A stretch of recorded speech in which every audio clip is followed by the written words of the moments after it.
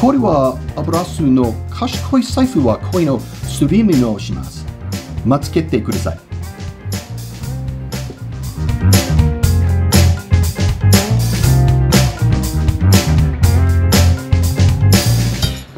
Welcome to Walletopia.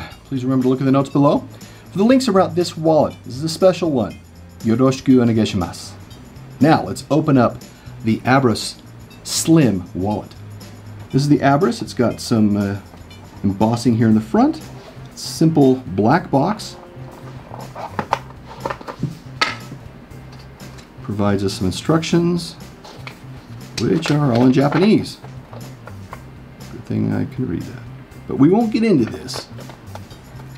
But you kind of get a feel for how it works, and we will walk through that. And let's open up the wallet.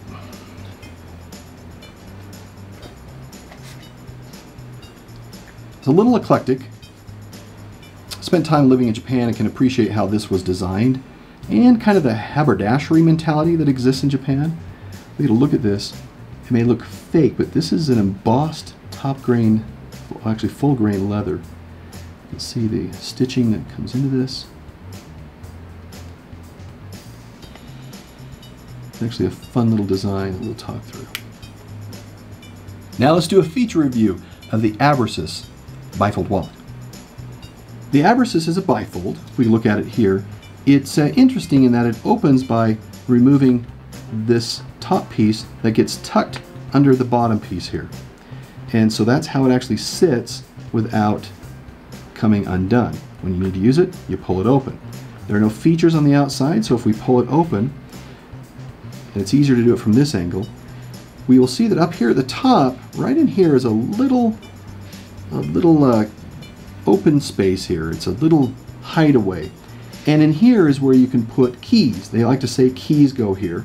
You might say coins, but there's another place for that, and we'll get to that. So keys go here. This is a little lip that actually can hold your cash. If we come down here further, we can see that the cash continues behind here, starts back here, and goes all the way to the front, and that's how it maintains itself. Right here is where we actually have the card slot. So cards go in here, and they're maintained, and then the little sneaky part is that under these snaps, we have a spot for coins. Coins can be stored all along here and accessed, but don't have no fear of coming out unless you explicitly go for them and have to open it up here. And that is a review of the features of the Abrasus bifold wallet. Now onto the card and cash and uh, coin and key insertion test.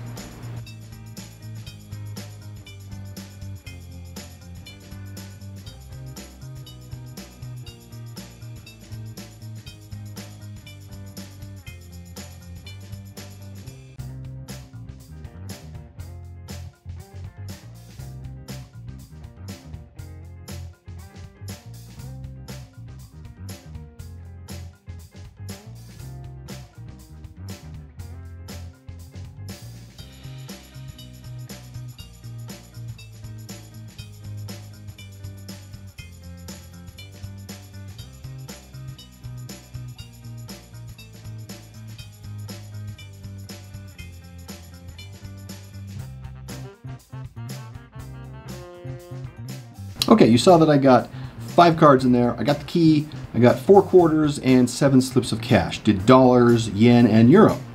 Uh, you, you, could probably get more, more coins in here. I think it can hold up to five. Now they say it can hold up to five cards, which we had, and 15 slips of cash, and 15 coins is what they're saying. Now that, that really comes to Japanese coins, but they're about the same size as a quarter, the Juens. Now quality, this is designed and made in Japan.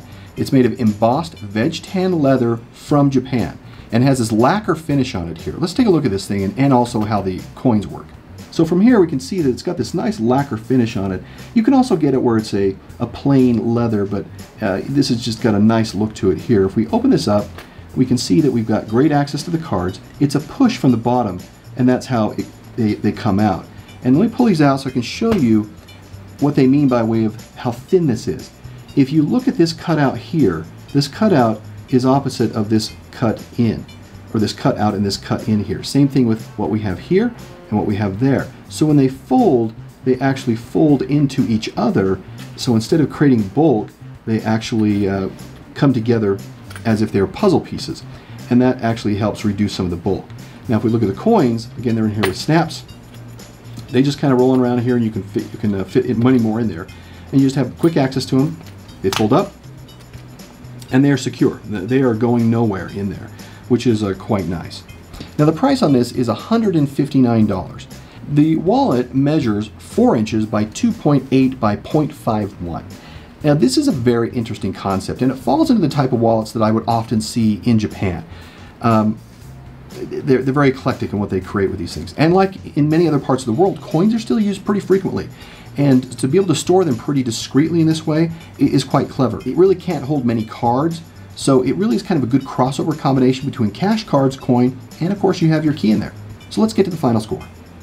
For quality of 4, price a 2, features a 4, usability a 3, and perception a 4.